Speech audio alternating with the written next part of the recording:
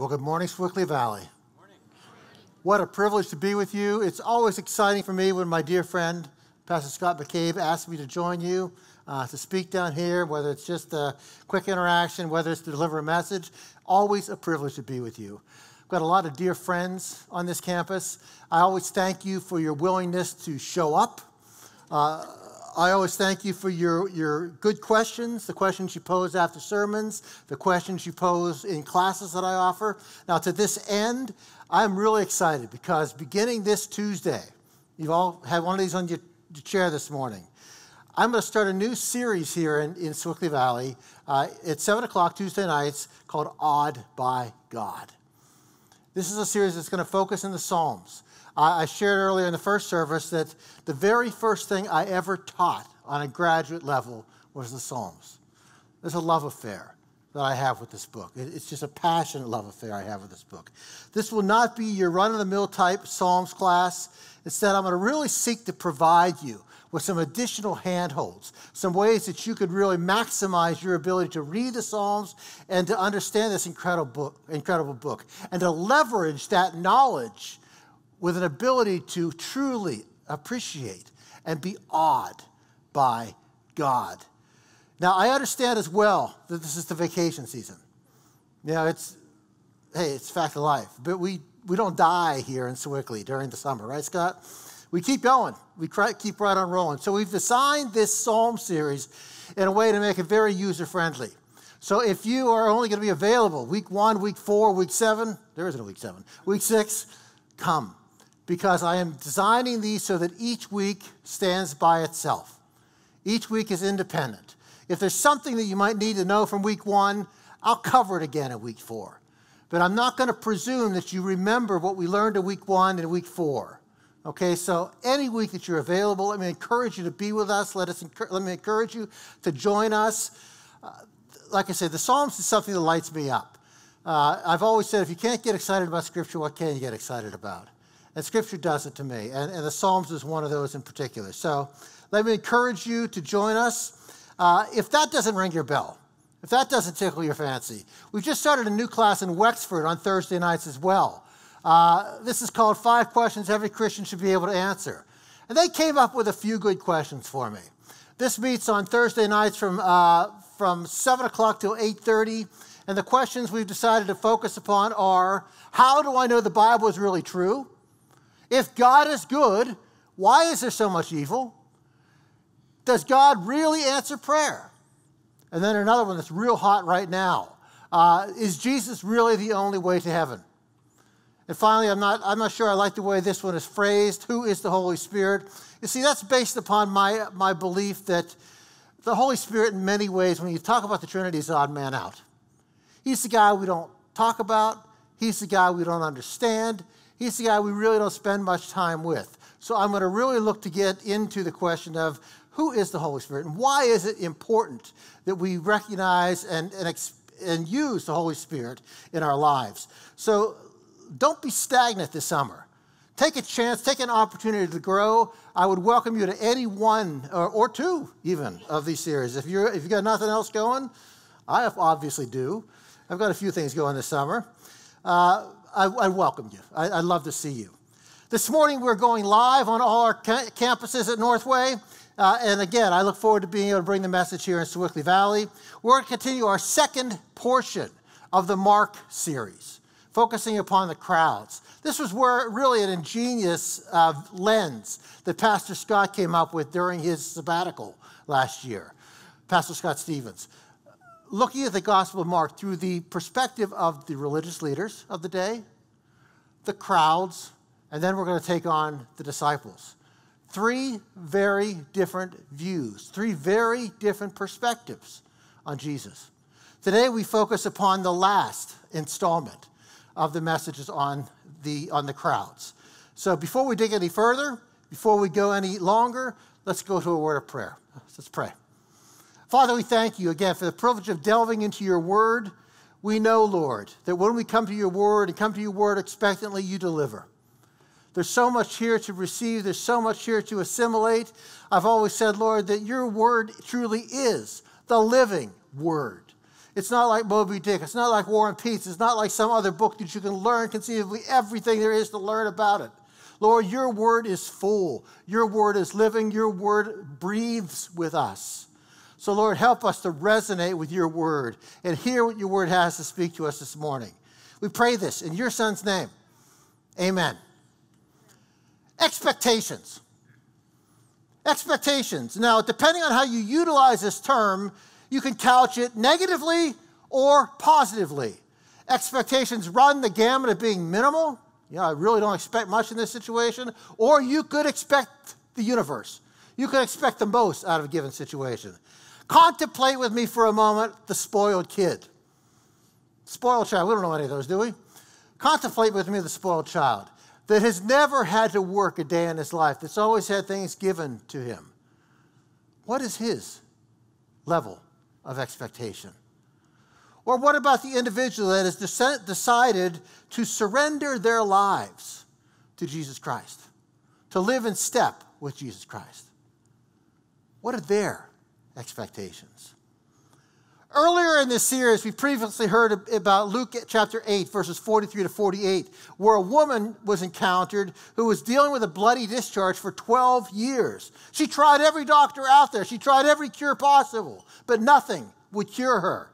And then she encountered Jesus. She snuck up behind him when he was in the midst of the crowd, grabbed a hold of the hem of his garment, and realizing that his power had gone from him, he turned to her looking for an explanation. And receiving an explanation, he said, Daughter, your faith has made you well. Go in peace. Reaching out, grabbing the hem of Jesus' garment. There was an expectation there. There was a clear sense of expectation. Okay? On the negative side of the equation, you can reflect upon the story of Ananias and Sapphira. Remember them from the book of Acts? Ananias and Sapphira were a married couple who sold a piece of land and attempted to pull one over on the eyes of the church. They tried to look like they were giving all the proceeds to the church, but in actuality, they were actually becoming quite wealthy on the deal.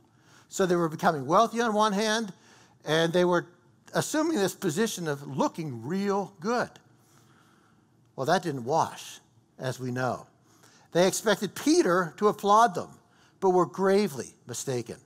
At the tail end of Acts 5 4, Peter says to Ananias, You have not lied to men, but to God. Ananias then collapses on the spot and dies. Enter Sapphira.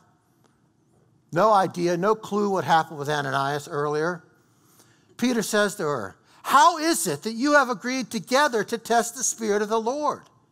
Behold, the feet of those who have buried your husband are at the door, and they will carry you out. Then, just as her husband before her, she fell down and died. Ananias and Sapphira had very poor expectations, and it cost them their lives. Some of you may know that I've just returned from a, from a journey to Greece with a Northway team. Uh, every two years, I lead a trip to, to, either to Greece or to Israel, one of the great sites, one of the great pilgrimage sites uh, in, in, the other, on the other side of the world. Uh, this was absolutely spectacular. What an incredible time. Uh, the last time I was in Greece, though, I can remember Pastor Scott Stevens taking me to lunch the week that I got back and saying to me, Jim, I want you to lead more trips. Twist my arm, right? Well, these are actually fairly demanding. It takes about two years to put one of these together. So every other year, we just, we just did Greece and we're going to do Israel again in 2019. Uh, very quickly, we're, we're captioning it at this point the Med, the Red, and the Dead because we're planning to go to the Mediterranean Sea, the Dead Sea, and very good. You catch on real quick. Okay, so there's also a modicum of awkwardness involved in doing this. Now, I'm flattered by this, but it's something I'm not comfortable with. The number of people that come up to me and say, you know what? It's on my bucket list to go to Israel, to go to Greece with you. I want to go to Israel or Greece, and I'm going because you're leading. You know what my response usually is? Usually fairly flip.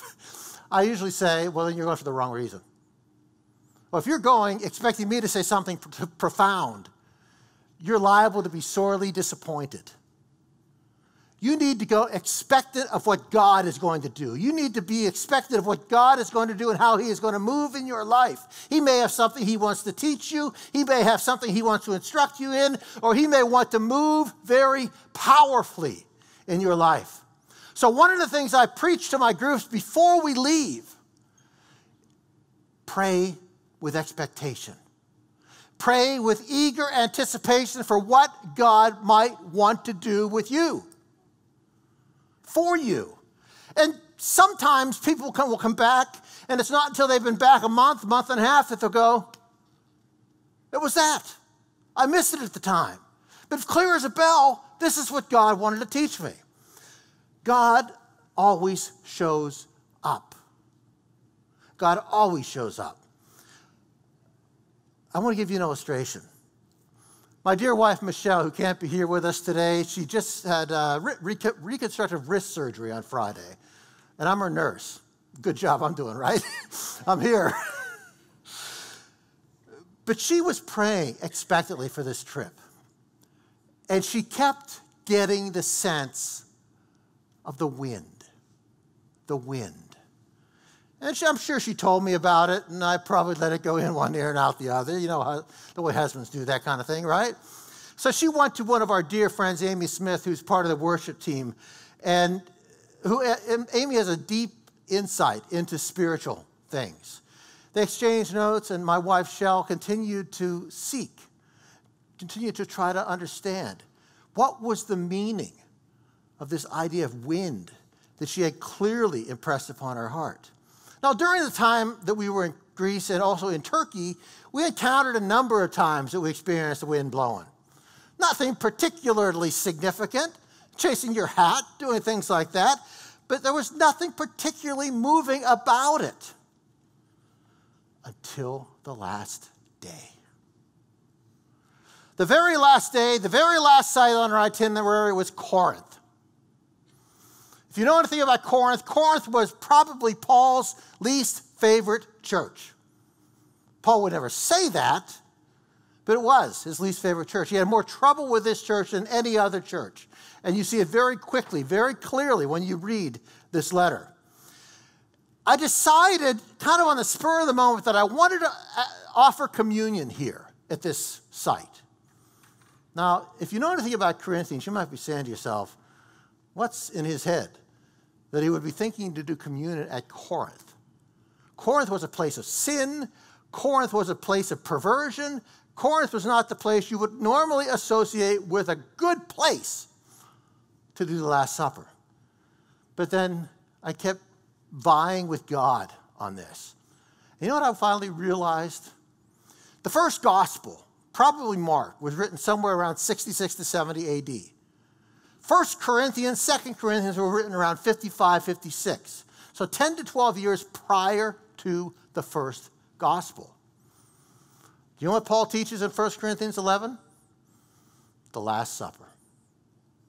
The first place in Scripture where the early church was taught about the Last Supper is from Paul's first letter to the Corinthians. So it seemed appropriate as we sat there among the trees with the temple to Apollos in the background and all the other ruins around us.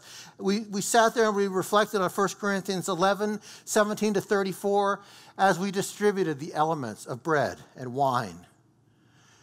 And as we were partaking of the bread and wine, there was such a very distinctive whoosh movement of the Spirit, movement of the wind around us and through us. We were all just blown away because it's my belief that we were honored at that time and in that place by a manifestation of our Lord's Holy Spirit. It was just an, an, incredibly moving situation. I can't tell you how many people that were with us said that was their most meaningful time of the entire trip, almost 14 days. Do you remember in Acts chapter 2 when the Holy Spirit descends upon the church, what happened? It came through like a rushing wind. It's not coincidental that whether you're looking at the Old Testament or the New Testament, looking at the word ruach in Hebrew or, or pneuma in Greek, the word spirit is also the word for wind. So the fact that the spirit would come in the form of the wind, it's not a big surprise.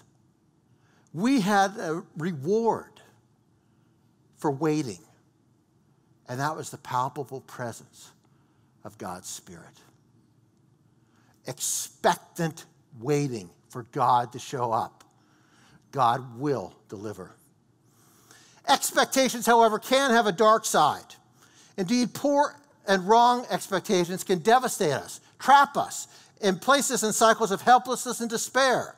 There's a book called The Devil's Dictionary that I like quite a bit. It's by a man by the name of Ambrose Bierce.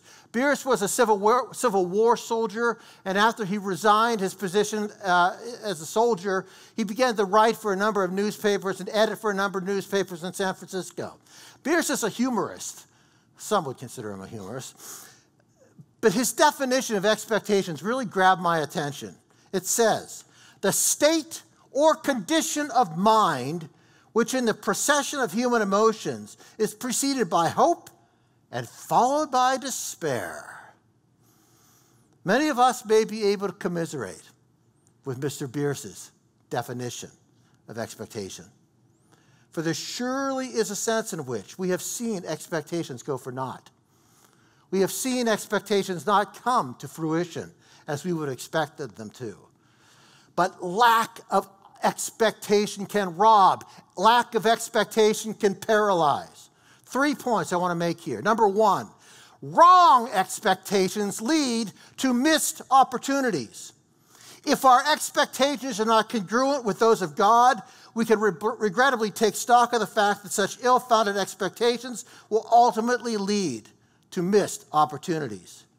The author of Proverbs puts it this way Where there is no vision, the people cast off restraint. If there is no revelation from God, if there is no abiding sense of expectation, people can expect spiritual and physical anarchy. Secondly, wrong expectations can blind us to what's actually happening. We can become so jaded and simply miss, or at least misunderstand, what God is trying to do. Finally, Wrong expectations are oftentimes reinforced by groups. Wrong expectations are oftentimes reinforced by groups. Have you ever heard the expression groupthink? Some of you have heard of it, some of you are nodding yes. Groupthink was coined in 1952 by a man by the name of William Whyte in Fortune magazine. And he defined it like this He said, Groupthink, being a coinage and admittedly a loaded one, a working definition is in order. We're not talking about mere instinctive, instinctive conformity. It is, after all, a perennial failing of mankind. What we are talking about is rationalized conformity, an open, articulate philosophy which holds that group values are, are not only expedient, but are right and good as well.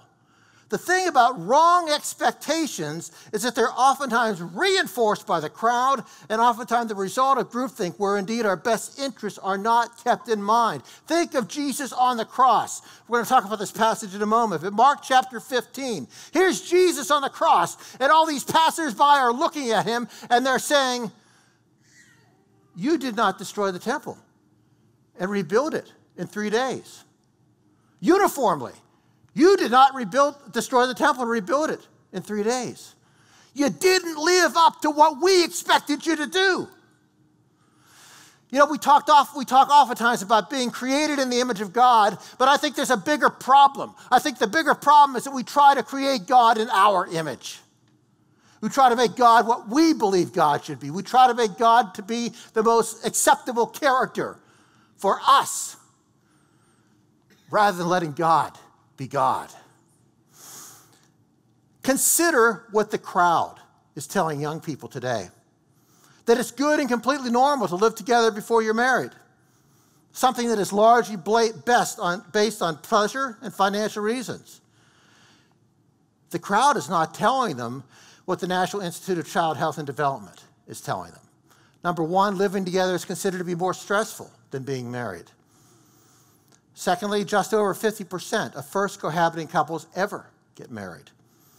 Third, in the United States, couples who live together are at a greater risk for divorce than non cohabiting couples.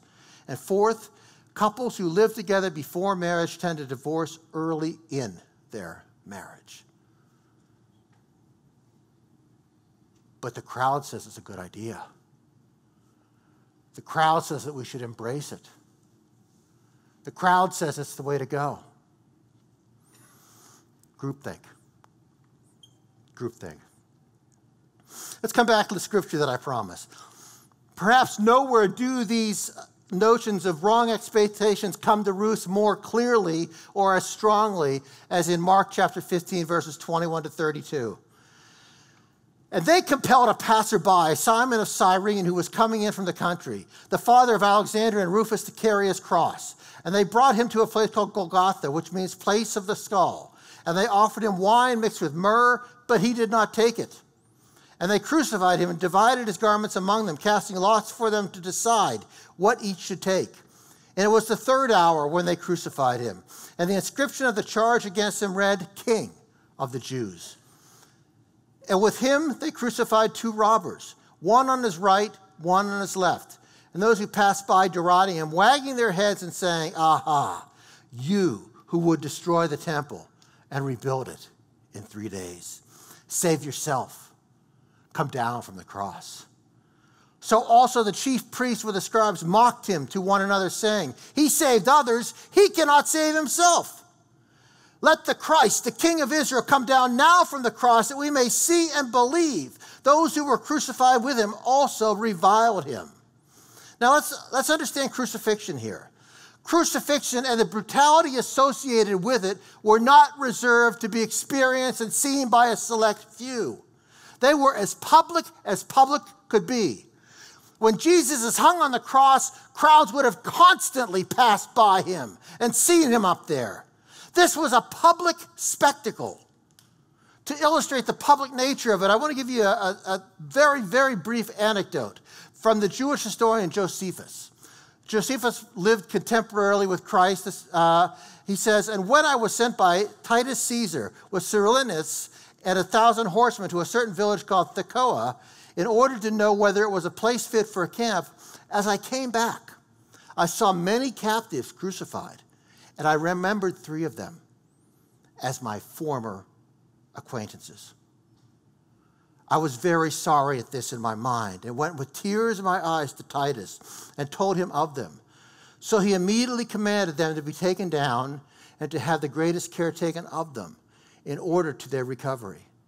Yet two of them died under the physician's hands, while the third recovered. Imagine you know, the, the place of crucifixion, clearly, according to the Gospel of John, would have been outside of the city. Okay? Wouldn't have been inside the city. But in order to get to the city, you have had to pass it.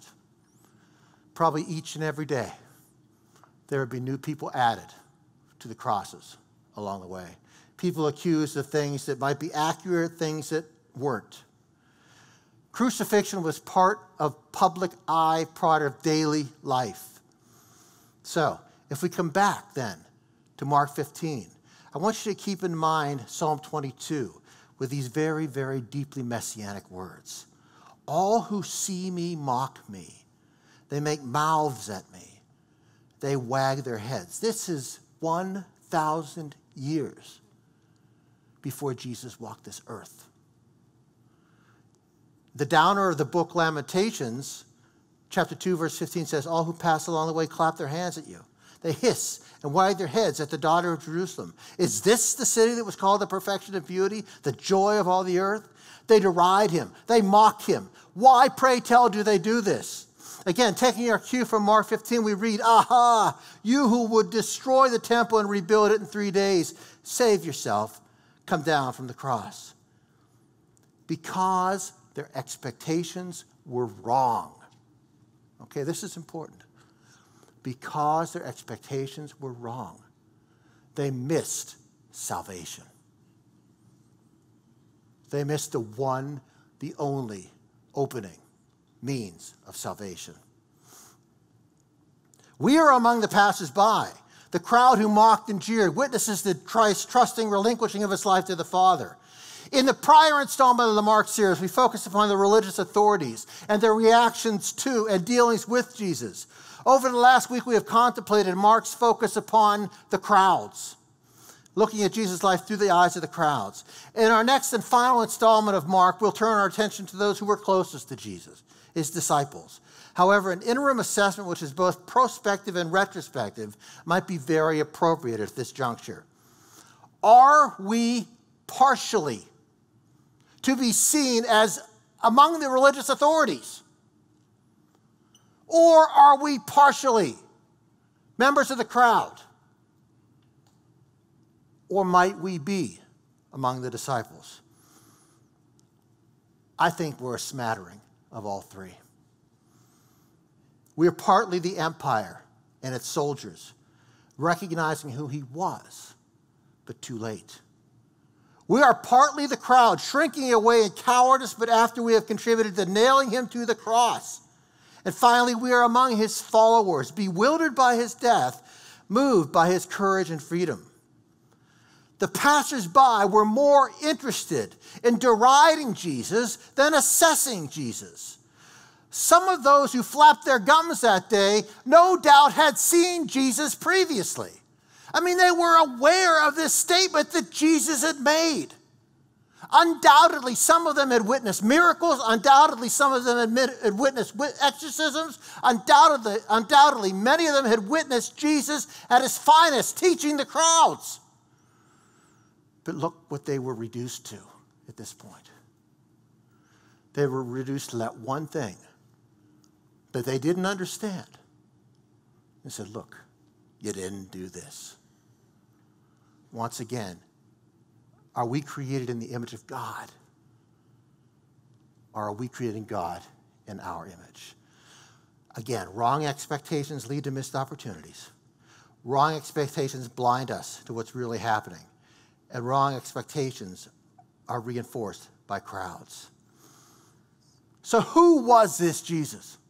How are we to take stock of this Jesus who died this brutal death on a cross at Calvary? In the mid 19th century, a Scottish Christian preacher by the name of John Duncan formulated what he called the trilemma. Some of you may have heard this before because it was popularized by C.S. Lewis. It's been popularized by Josh McDowell, the famous uh, Christian apologist. He asked the question Jesus either deceived mankind by conscious fraud, or he was himself deluded and self deceived, or he was divine. There's no getting out of this. All of us have got to come to grips with exactly who Jesus is liar, lunatic, or Lord. Was he a liar if Jesus made his claims knowing he wasn't God? That he was lying to his followers and consider the absurdity of it. Not only did he lie about it, he died for it. If that doesn't make a liar, a lunatic, I don't know what does. If someone told you he was God, you would probably believe him as much as believing he was Santa Claus. You would call him a deluded, self deceived dude. Yet Jesus didn't display the abnormalities and the imbalance that usually go hand in hand with a crazy. Jesus was a guy who spoke some of the most profound words ever recorded. Words that have set many free and even some in mental bondage. Jesus was no lunatic. Was he Lord? If Christ isn't liar or lunatic, you only have one option. He is Lord. One of the famous quotes that I remember from, from years ago I read it in a theology book back in 1975. I mean, it sticks in my mind like it was yesterday. Makes the statement Buddha's tomb is occupied, Confucius' tomb is occupied, Muhammad's tomb is occupied, Christ's tomb is empty. Folks, we live in the light of that crucifixion event and the subsequent resurrection that Jesus pulled off. Nobody else pulled that off. Nobody else in history has pulled that off. No other God or holy man in history has pulled that off. Only our Lord, Jesus Christ. So, was he a liar? Was he a lunatic? Or was he a Lord? You have to make the choice. You have two resources to help you make the correct decision. One is the historically credible record of Christ rising from the dead, and second is the Bible, which gives you solid reasons to believe. A huge reason. God gave you this book. As John writes, John chapter 20, verse 31. But these are written that you may believe that Jesus is the Christ, the Son of God, and that by believing you may have life in his name. Imagine you were there that day. Imagine you saw Jesus hanging on that cross. Do you think you would have fallen in with a crowd and derided him for what he hadn't done, at least in your assessment, what he hadn't done? Or would you have had the courage to stand up and say that this is my God? You see, folks, the crucifixion and then finally the resurrection are the core of our Christian faith. You can embrace every other miracle. You can embrace every other great thing that Jesus did. But if you don't embrace the resurrection, this is meaningless. Completely meaningless. Because if we don't have the core miracle of the Christian faith, everything is for naught. I don't happen to believe that's the case. I've staked my life on it. Where are you? As we pull this in for a landing, I want to take us back to where I started today. 1 Corinthians chapter 11. In 1 Corinthians chapter 11, Paul gives the first instruction to the Christian church about the celebration of the Lord's Supper. So please allow me, if you would, to read briefly from a portion of 1 Corinthians chapter 11. If I can find it.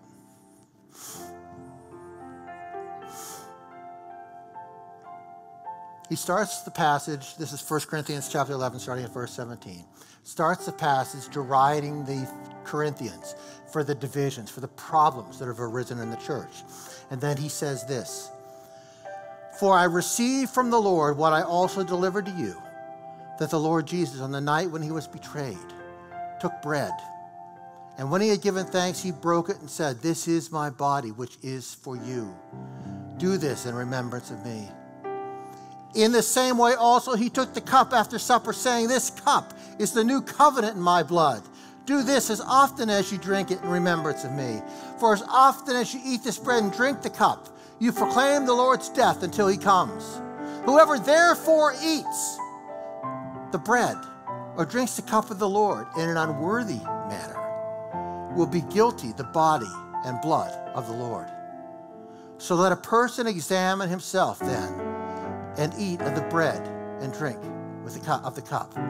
For anyone who eats and drinks without discerning, the body eats and drinks judgment on himself.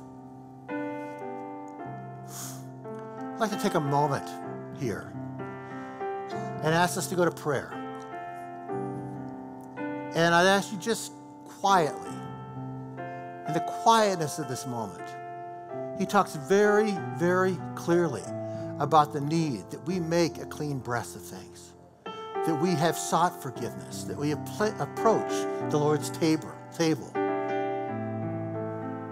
with a clean slate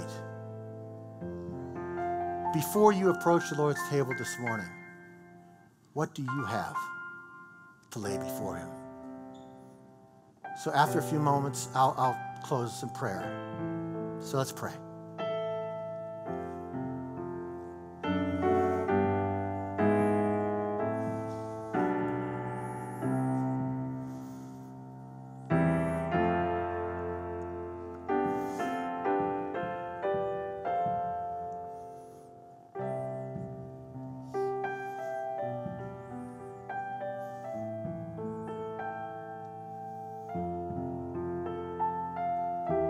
Father, what are we without you? miserable sinners,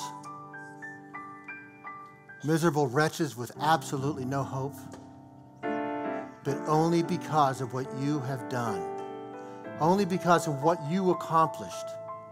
By willingly going to Calvary, sacrificing your son on that cross, raising him from the dead. Lord, that's the only thing, the only thing that gives us hope in this world in which we live. The realization that you, Lord Jesus, are alive. And we celebrate that at this moment, at this time, in the name of that precious one, Jesus Christ. Amen. Ushers, come forward?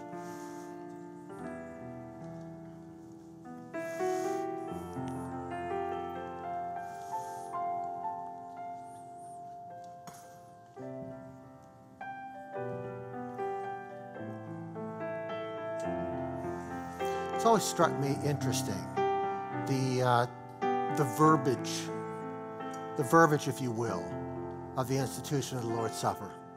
Because depending on what church you've been to, you might find it differs from place to place. Sometimes it will simply say, This is my body given for you. Do this in remembrance of me. Other times we will say, This is my body broken for you. Do this in remembrance of me. This is something I've thought about quite a bit because when you think about it, when you really think about it, I think the second statement is actually inaccurate. Because was Jesus technically broken? No. Because had he been broken, he would not have been a viable sacrifice. Do you realize that? When Jesus is on that cross with the two thieves at his side, the Roman commander gives the command to break the legs of these men on the cross to bring about their death that much faster. So they break the legs of the first thief. They break the legs of the second thief. And what happens when they come to Jesus? Jesus is already dead. This is because Jesus was our Passover lamb. Jesus was the, was the only perfect, without blemish, spotless sacrifice that could possibly take away the sin of all mankind, past, present, and future. In Exodus, we've learned of the lamb. And with the lamb, you didn't sacrifice the one that was limping around the pen and probably wouldn't make it to the next day. You offered the best, the best of the best. Folks, Jesus Christ was the best of the best. Don't ever think that on that day the Romans took Jesus' life. Jesus willingly surrendered his life.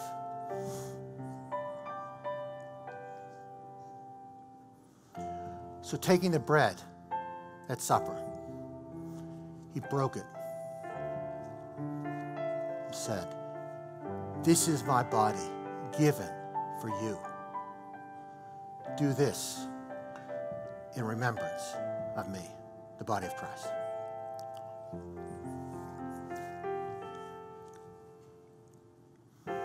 Paul goes on to tell us through 1 Corinthians 11 that after supper, he took the cup.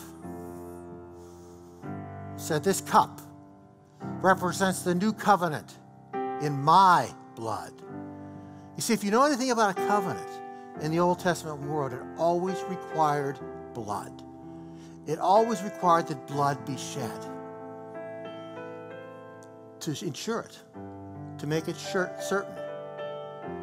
Jesus Christ was the only one, the only one who could seal this deal, the only one who could seal this covenant. So we drink from this cup in remembrance of him.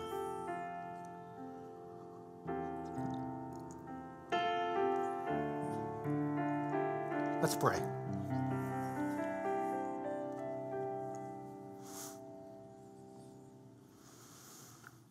Father, I thank you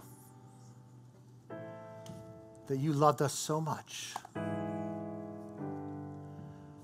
that you express that love in a way that we just still today can barely fathom.